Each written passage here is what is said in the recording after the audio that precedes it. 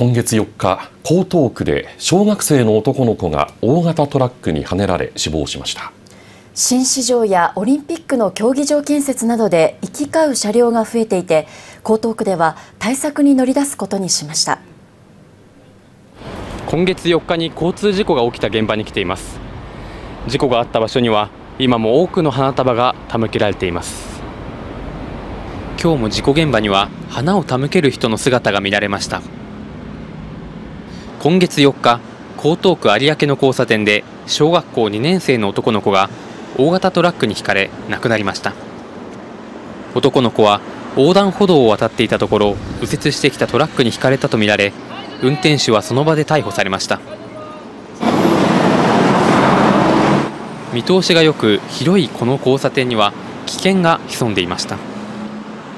ここら辺やっぱりやっぱあのトラックが多いなっていうのは前々から思ってたんですけど道が広くて車線も多いだけに割と飛ばしてくる車とかトラックが確かに多いなっていうのは感じましたね。今回の事故現場は都道と国道が交わるとても広い交差点で今私がこうして話している間にもたくさんのトラックや大型車両が何台も走り抜けていきます。江東区では豊洲の新市場やマンションの建設で資材などを運ぶ大型車両が行き交うことが増えました。2020年東京オリンピック開催に伴い多くの競技場が設置されるため今後もさらなる大型車両の通行が見込まれています。区の調査によりますと2010年10月におよそ1万7000台だった交通量が去年12月には2万2000台に増えそのうちの4割以上が大型車両でした。貨物車による事故も増えています。3年前に172件だった事故は去年522件へと増加しました。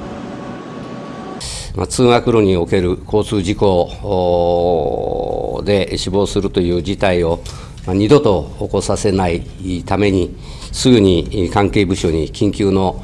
対策を取るよう指示をいたしました。山崎区長は事故が起きた後の会見で安全対策に乗り出すことを強調しました今回の事故が発生したその交差点の信号ですけども、まあ、これがあの大型車が往来が非常に激しいものですから、えー、この車とですね歩行者が接することがないようないわゆる歩車分離型信号というふうに呼ばれてますけどもこの設置を、まあ、警察の方に、え、強く要望したと。歩車分離型信号。